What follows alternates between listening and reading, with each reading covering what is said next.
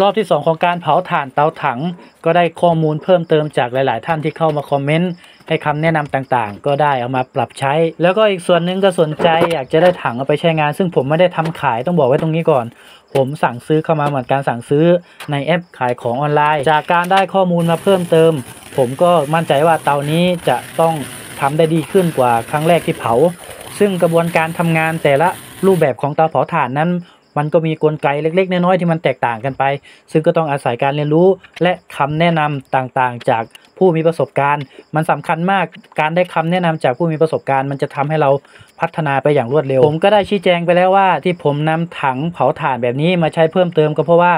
ผมจะทับถ่านบดเอาไว้ใช้ในการเกษตร เอาไว้ผสมดิน เพาะเอาไว้ผสมดินปลูกต้นกล้าต่างๆ แล้วก็เอาไว้ผสมกับปุ๋ยหมัก ซึ่งมัน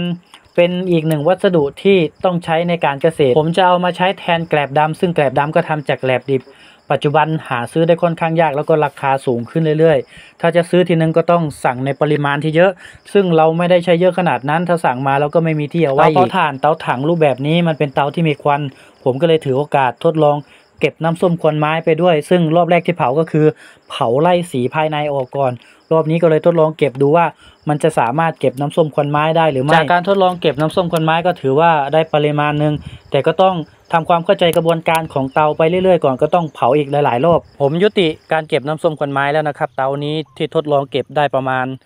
ลิตรกว่าๆทีแรกว่าจะเสร็จตั้งแต่เมื่อวานเย็นที่กะเอาไว้ แต่ไม่เสร็จนะครับน้ำส้มควันไม้มันก็หยดลงมาทีละนิดเท่านั้นเอง ควันมันก็ออกทางปลายท่อเรื่อยๆช้าๆมันน่าจะเป็นเพราะว่าด้านล่างผมใส่ไม้ท่อนใหญ่ด้วย เรายังไม่รู้ว่ามันต้องจุดไฟให้ติดดีขนาดไหนนะครับ หรือมันอาจจะเป็นเพราะการระบายควันที่เราเอาท่อไผ่มาประกบกับท่อควันตัวนี้ เดี๋ยวต้องทดลองไปอีกหลาย ๆ ครั้งนะครับ แต่ก็ถือว่าสามารถเก็บได้ อันนี้ผมมาจุดไฟตอนนี้ช่วงเช้าก็ข้ามวันมาประมาณ เกือบเกือบ24ชั่วโมงแล้ว อันนี้คือเร่งแล้วครับ ปล่อยเลย เมื่อรอบที่แล้วผมปิดเตาเร็วจนเกินไป ควันมันยังไม่หมด สีมันยังไม่จางมาก รอบนี้ผมก็ปล่อยให้มันสีจางๆมากที่สุดแล้วก็รีบปิดก็มีหลาย ๆ ท่านที่ใช้เตารูปแบบนี้มาให้คำแนะนำบอกว่าเตาแบบนี้มันจะต้องรอให้ควันนั้นไม่มีแล้ว แล้วค่อยปิดเตา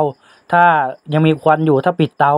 ถ่านมันยังไม่สุกเต็มที่ถ่านที่ผมเผาได้รอบนี้ก็ถือว่าดีขึ้นกว่ารอบแรก แล้วก็ได้ปริมาณเยอะขึ้น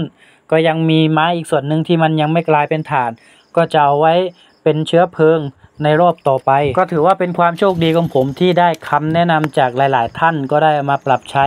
ก็เลยได้ปรับตัวกับเตาประเภทนี้อย่างรวดเร็ว เผาครั้งต่อไปผมจะปล่อยให้ควันมันหมดเลย แล้วค่อยปิดเตามาดูกันว่าถ่านจะเป็นอย่างไร